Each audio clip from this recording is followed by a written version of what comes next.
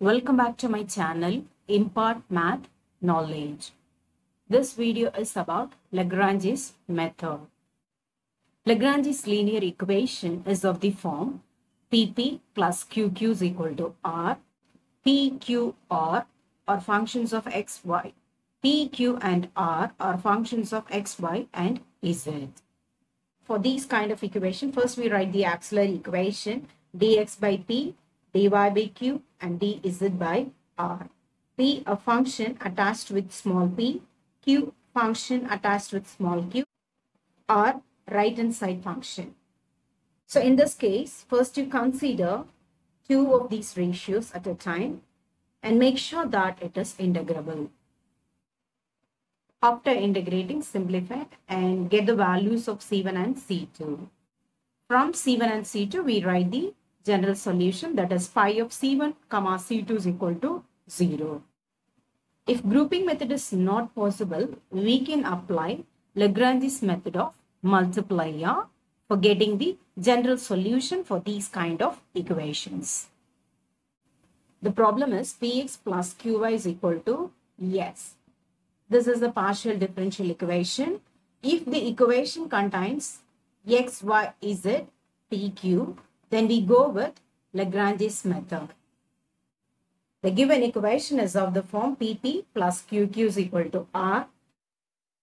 Here p is equal to x, q is equal to y, and r is equal to right hand side function x. Auxiliary equation is dx by p, dy by q, dz by r. This can be written as dx by p is x, dy, q is y, d is dz, right hand side value is x. Take this as number 1. Now we can apply grouping method here. So for that you can consider two of these ratios. Dx by x and dy by dy. Whenever selecting the ratio, make sure that it should be integrable. Here, select first and second ratio. dx by x, dy by y. Integrating this, that is, integral of dx by x is equal to integral of dy by y. We know that integral of 1 by x dx is log x. So this can be written as log x. Integral of 1 by y dy is log y. The constant term is log c. Now this can be written as log x taking log y to the left hand side. So log c1. We know that log a minus log b is log a by b. So this can be written as log x by y which is equal to log c1. Cancelling log on both sides, we get c1 is equal to x by y. For finding the next constant, we can select first on the third ratio. The ratio is dx by x is equal to dz by x. Cancelling the uh, like terms. So dx is equal to dz. Integrating this, we get integral of dx is x integral of d is is plus constant c2.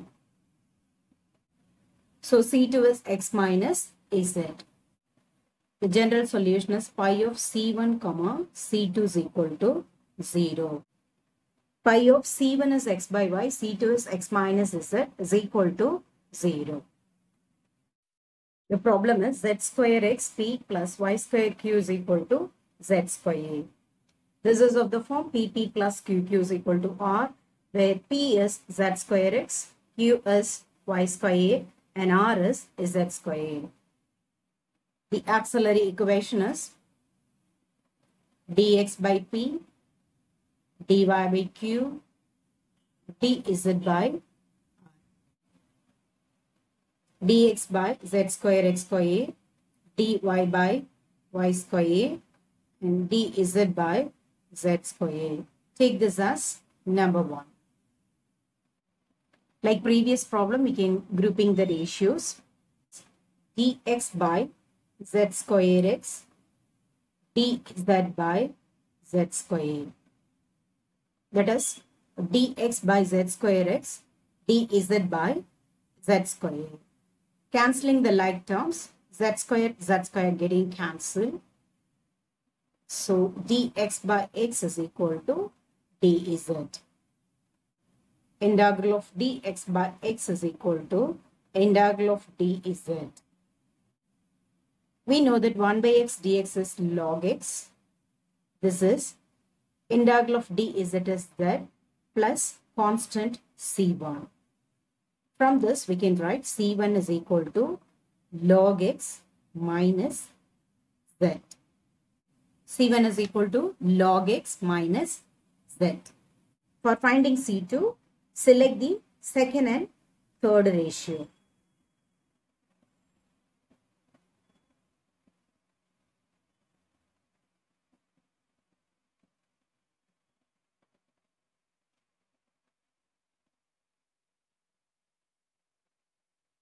dy by y square is equal to dz by z square.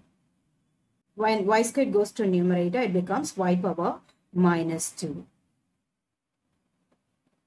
Integrating this, y power minus 2 dy is equal to z power minus 2 dz.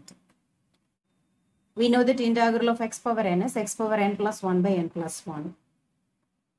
So this can be written as y power minus 2 plus 1 by minus 2 plus 1. Right hand side z power minus 2 plus 1 by minus 2 plus 1 plus constant c1. y inverse is 1 by y. z inverse is 1 by z plus c2. From this, we can write c2 is equal to minus 1 by y plus 1 by z that is minus z plus y by zy. So C2 is y minus z by y is z. The general solution is pi of C1 comma C2 is equal to 0 where C1 is log x minus z. C2 is y minus z by y is z is equal to 0. For solving Lagrange's linear equation, first you write the auxiliary equation dx by p, dy by q and dz by r. For finding the constant C1 and C2, we need to grouping the ratios. After grouping the ratios, integrating the terms. From that simplify C1 and C2. Practice these problems in a similar manner for better understanding. Hope you all understand. Thank you for watching.